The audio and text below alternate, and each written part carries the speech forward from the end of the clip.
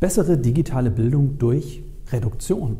Reduktion ist ein bekanntes Prinzip aus der Bildung, aus der Didaktik und das kann man natürlich auch auf digitale Bildungsangebote perfekt anwenden. Wenn man erstmal von der grundlegenden Gestalt ausgeht, kann man sagen, ja, es gibt durchaus Regeln, Rules of Thumb, die man einsetzen kann, damit digitaler Content erstmal besser wird. Da gibt es die 60-30-10-Regel zum Beispiel. Das heißt, 60 Prozent sollte möglichst ähm, ja, unaufgeregt sein, sodass man da seinen Content platzieren kann. 30 Prozent sind entsprechend äh, geparkt oder gebucht für ja, Designfarben, die eure Bildungsinstitution mitbringt. Und 10% sind reserviert für Call-to-Action-Elemente, also Buttons oder Weiterdrückknöpfe oder ähnliche Sachen.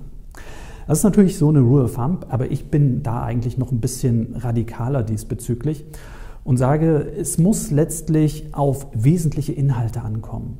Und insofern habe ich mir übers Wochenende auch bei der Überarbeitung von Content Guidelines Gedanken gemacht und habe so überlegt, Mensch, was kann man denn machen, um den Content noch besser zu machen, um ihn noch stärker zu vereinfachen? Und da habe ich erstmal so eine Not-to-Insert-Liste gemacht. Das heißt also, mit dieser Liste könnt ihr euren Content auch nochmal ein bisschen aufräumen. Der erste Punkt betrifft Grafiken, also diese 30 Prozent. Hier würde ich radikal vereinfachen. Geht weg von großflächigen Grafiken, die von wesentlichen Inhalten ablenken. Versucht das Ganze so klar wie möglich zu kommunizieren. Der nette Nebeneffekt dabei ist natürlich auch, dass ihr entsprechend auch Datenmengen spart. Das heißt, bei euren Lernenden kommt der Content, der wesentliche Content auch schneller an. Oder aber, wenn ihr sagt, naja, ich kann auf eine bestimmte Grafik nicht verzichten, dann versucht sie, soweit es geht, zu reduzieren, sodass wirklich nur noch das übrig bleibt, was ihr auch wirklich braucht. Der zweite Aspekt sind Inhalte. Manche von euch, die neigen dazu, viele Inhalte irgendwie zu posten bzw. in eure Lehrmodule reinzubauen. Aber hier empfehle ich euch, reduziert das Ganze auch radikal auf das Wesentliche. Werft also Sachen raus, die nicht für die Zielstellung hilfreich sind oder lagert sie aus, sodass Interessierte das nochmal nachlesen können. Aber fokussiert euch auf wesentliche Inhalte. Und vom Inhalt kommt man natürlich auch gleich auf die Textebene. Da solltet ihr darauf achten, dass ihr beispielsweise keine Füllwörter wie beispielsweise nutzt. ihr solltet also sagen, benutzt keine Füllwörter, denn sie lenken nur vom Wesentlichen ab. Also eigentlich und ähm, zum Beispiel infolgedessen, das sind so entsprechende Füllwörter, müsst ihr mal im Internet gucken, da findet ihr eine ganze Liste und dann könnt ihr das entsprechend mal durchgehen und da mal ein bisschen eure Texte ausmisten.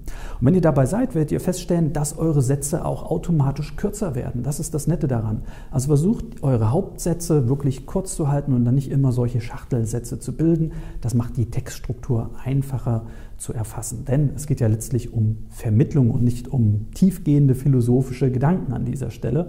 Dafür gibt es dann entsprechende Bücher und alles, was man so ablegen kann. Dann gibt es noch ein weiteres Mittel und das sind die guten alten Absätze. Versucht nicht so eine lange Textwurst zu produzieren, sondern versucht das wirklich absatzweise zu machen, sodass ihr halt nicht zu lange Textsegmente habt, sodass das Gehirn eurer Lernenden eure Textsegmente auch noch mal ein bisschen zerlegen kann.